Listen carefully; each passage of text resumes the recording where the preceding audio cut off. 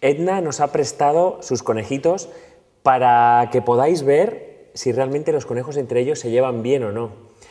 Y esto realmente el nombre técnico se llama convivencia intraespecífica, que es algo tan sencillo como si los conejos entre conejos se llevan bien. Pues por supuesto que se llevan bien.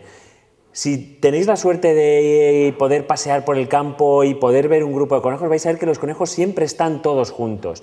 Y normalmente siempre es un macho con varias hembras.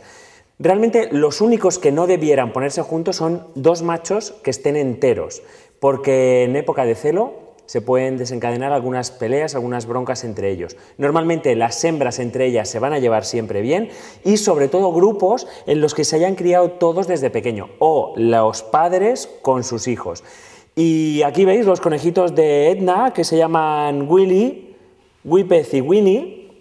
Ahí los tenéis dentro y vais a ver que se llevan fenomenal. Concretamente estos son un machito que ya tiene siete meses, que lo veréis aquí correteando y jugando con otros dos pequeñitos que ha cogido ahora, ah, que tienen unos dos mesecillos. Normalmente nunca hay problemas, aunque siempre tomad como recomendación los primeros dos o tres días no dejarlos directamente juntos, siempre un poco vigilados, viendo a ver cómo se comporta sobre todo el mayor, que va a ser el problemático. Los pequeños nunca tienen problema, se adaptan fenomenal, pero el que ya lleva tiempo solo en casa, sobre todo a partir de los 5 o 6 meses, se vuelven bastante introvertidos y con una vida solitaria, se acostumbran a vivir solos.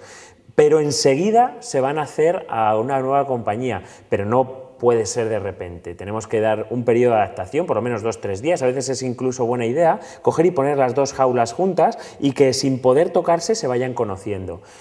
Simplemente con esta recomendación es decir que si podéis tener varios conejos en casa, hacerlo, porque es muy buena idea, vais a disfrutar un montón vosotros y los conejitos.